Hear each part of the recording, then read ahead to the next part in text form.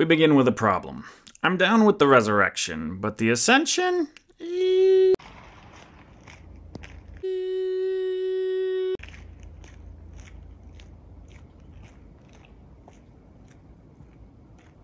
I'm discovering that this series is more about my emotional relationship to the Bible, God, and the church than it is about hermeneutics, apologetics, or objective truth. And I'm okay with that. Listen carefully. You can hold on to your uh, red snapper, or you can go for what's in the box that Hiro-san is bringing down the aisle right now. What's it gonna be? This week I found myself in an argument with a person I didn't want to be in an argument with. The crux of the matter was that I wanted to say, if we look at these events objectively, then we can see some real positives. Turns out, I wasn't listening well.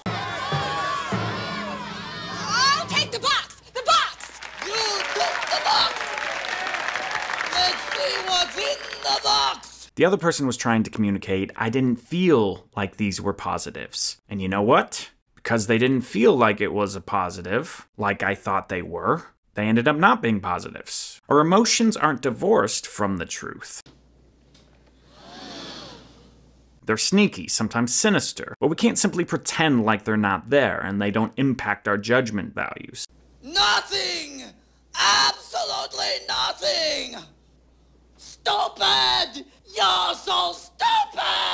With that in mind, let's talk about a very specific biblical event the ascension of Jesus of Galilee. To me, the resurrection of Christ feels grounded. It's mystical, sure, but we get Mary Magdalene's reaction, Peter and John's, Thomas's, as well as the context and settings of their emotions and encounters with Jesus. It feels lived in. We don't get that in the ascension, it just happens, without any real explanation. Making matters worse, Jesus is described as ascending into the heavens, but that doesn't pass the sniff test, does it? If it were just a matter of understanding the physics or a sequence that proves hard or impossible to accurately describe in words, that'd be okay. But the why question festers. Why couldn't he have stayed? Why did he have to leave? Imagine with me, if you will, what if Jesus never ascended? What if he stayed on Earth with us? He'd be in his perfect resurrected body, he'd have conquered death, so he wouldn't age, he'd just remain. What do you think would happen? It's a it's an interesting thought experiment, no? How would the course of human history be changed if Jesus stayed with us? The atheist inside of me uses this nugget all the time. It's awfully convenient that Jesus just goes up into the clouds right after his resurrection. And by the by, back in those days, folks didn't know what was up above. Now we know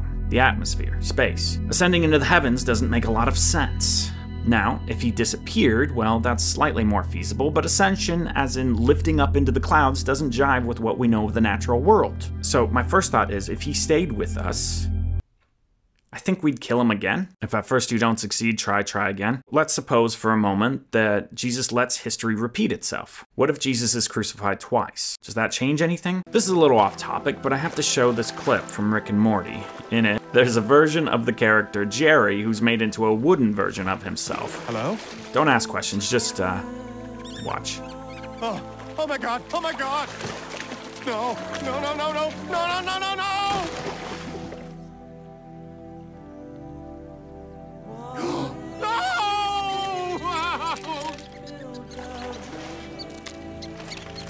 Oh God, yes, yes, sweet Dad.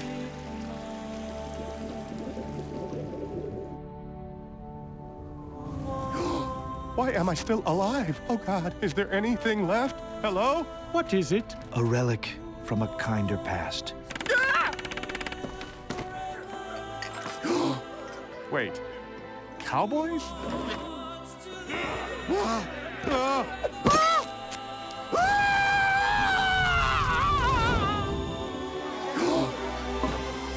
Christianity again? After cowboys? You went all the way back around? Oh God, why can't I die? This is the worst thing that's ever happened to anyone! Christianity again? After cowboys? okay, and just playing this out here, if Jesus stays around forever, every next generation might feel like it's their duty to end the horror of an infinite human being. So maybe Jesus isn't just killed twice, but maybe every generation. I wish I knew how to quit you.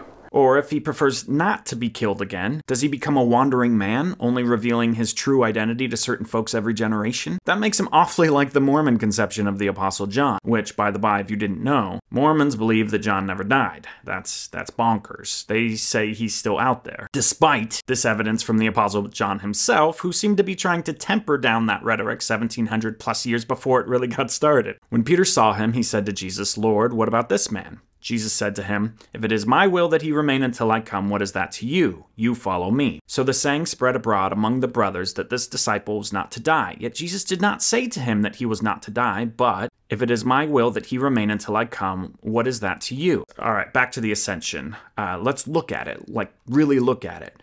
Don't let your gaze wander. Hold steady. Hold fast. Most scholars agree Mark was the first gospel written, so let's start there. The first eight verses of the last chapter are wholly kosher. No one doubts them. The last 12, however, uh, not so kosher. If we stop there, the last verse sets us with the women at the empty tomb talking to an angel. Then they went out and ran from the tomb, for terror and bewilderment had seized them, and they said nothing to anyone because they were afraid. Which is just so real, if you ask me. That feels lived in. That feels authentic. I love it, and I believe it happened. Who would make that up? Most translators have a break in the page after verse 8. I just quoted the NET version, which has a fascinating header for the next 12 verses. The ESV, on the other hand, has included a bracketed comment that reads, Some of the earliest manuscripts do not include chapter 16, verses 9 through 20. Oof. But let's look at the classic, the King James Version. How do they deal with it? Uh. The general scholarship is in agreement. The last 12 verses of Mark weren't likely penned by Mark, they were tacked on later. And once you read those verses with that in mind, a few things pop out. After these things, he appeared in another form to two of them as they were walking into the country, and they went back and told the rest, but they did not believe them. That's just like a summary of the Road to Emmaus story in Luke 24, verses 15 and 16. And he said to them, Go into all the world and proclaim the gospel to the whole creation. Whoever believes and is baptized will be saved, but whoever does not believe will be condemned. And there you go, there's the Great Commission in a nutshell from Matthew 28. The last verses end this way. So then the Lord Jesus, after he had spoken to them, was taken up into heaven and sat down at the right hand of God. And they went out and preached everywhere while the Lord worked with them and confirmed the message by accompanying signs. Once you know that the earliest attestations of the Gospel of Mark don't include these 12 verses, then it's super easy to read these last 12 with a particular skepticism. It's hard not to think, yeah, someone wanted to make sure that Mark covered all the stuff at the end that Luke and Matthew did. Cross all the T's and dot the lowercase j's. The ascension is mentioned, sure, but only in passing. There's no details, no dates, no setting given. It kind of reads like a, and they all lived happily ever after, for instance, and then Jesus ascended to be with God, and the disciples did miracles happily ever after. Okay, so if we're not counting Mark, what about Matthew? Matthew, calling on Matthew. What do you have to say about the ascension? Nothing. You got nothing in court. You don't got the bookkeeper. You got nothing. Nothing. Matthew's gospel ends with Jesus speaking to the disciples and literally saying, And behold, I am with you always, to the end of the age. What about John? He's eloquent. He should love this sort of imagery. Nothing! Absolutely nothing! No dice. No ascension in John. It's left to Luke. Bless his soul, Luke, the writer, gives us two accounts one in his gospel and another in the beginning of Acts. Here's the account in Luke. And he led them out as far as Bethany, and lifting up his hands, he blessed them. While he blessed them, he parted from them and was carried up into heaven. That's it, not a lot to go on. The account in Acts has a little more meat on the bones. And when he had said these things as they were looking on, he was lifted up, and a cloud took him out of their sight. And while they were gazing into heaven as he went, behold, two men stood by them in white robes, and said, Men of Galilee, why do you stand looking into heaven? This Jesus, who was taken up from you into heaven, will come in the same way as you saw him go into heaven. And that's all we get. That's the ascension. That's all, folks.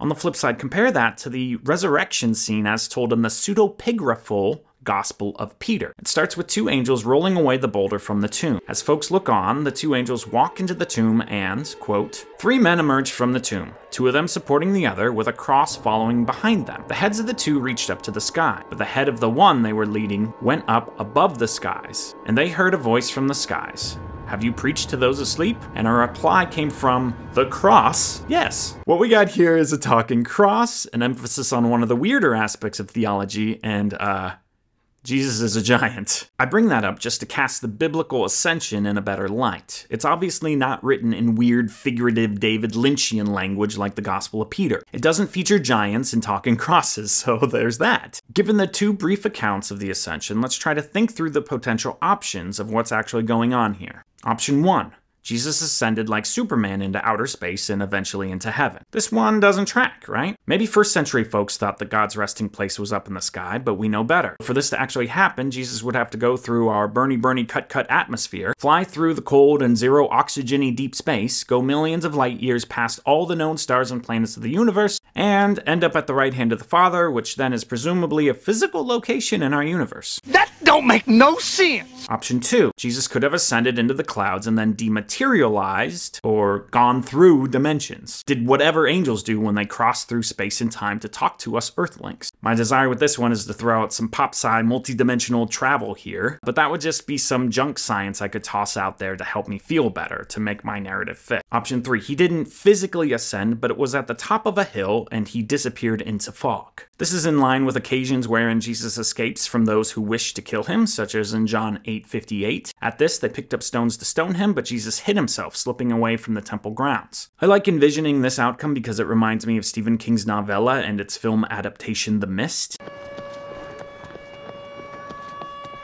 Something in the mist! Something in the mist! Took John Lee! Dan, catch your breath. Something in the mist took John Lee, and I, could hear him screaming. In that one, cross dimensional creatures are waiting to gobble you up in a deep fog. See? It could have just been like that, except instead of Lovecraftian monstrosities, it's just Jesus sifting out of our reality in the mist. Option 4 Jesus didn't ascend. This part of the story is metaphorical. Uh, but if it's a metaphor, where is he? Where'd he go? This only works if you deny the resurrection, which I'm not going to do. Of the four options, it has to be two or three, right? Right? Right? Right. So why? Why did Jesus leave? The answer I was given as a young buck was that he had to leave so that each preceding generation could freely choose to follow him. This idea, though, should be anathema to like half of the Protestant population in that they're forever suckling on the Calvinist no free will teat, and therefore it shouldn't matter whether Christ stays or goes. Whether Jesus remained in Israel or not, Calvinist determinism says we're gonna believe and do what God intends for us to believe or do no matter what. God! So then, why not stick around? Calvinists aside, if this free will thing is the reason, it's kind of ironic then that Jesus would immediately be like, uh, we gotta supercharge this thing, I'm gonna come show up just for Paul to get things in motion. Like, why didn't Christ hold off on his ascension until Paul came around? Why not wait until Paul's making his way to Damascus to ascend? He could have ascended in front of Paul. That really would have given Paul authority, no? If Paul was the last dude that pre ascension Jesus appeared to? I also think that if Jesus remained, if we all knew that one person was still alive after 2,000 years, and he claimed to be God, I think the world would split. Some of us would bend the knee, some of us wouldn't. Come to think of it, my intuition tells me that it might actually play out like Revelation says Armageddon will, with a remnant of folks frantically against Jesus and some devoutly following, and the fanatics would probably try to kill him and his followers? When the thousand years are over, Satan will be released from his prison and will go out to deceive the nations in the four corners of the earth, Gog and Magog, and to gather them for battle. In number, they are like the sand of the seashore. They marched across the breadth of the earth and surrounded the camp of God's people, the city he loves. But fire came down from heaven and devoured them. Is that you, Revelation? I thought I banished you to the outest circle. I wish I knew how to quit you.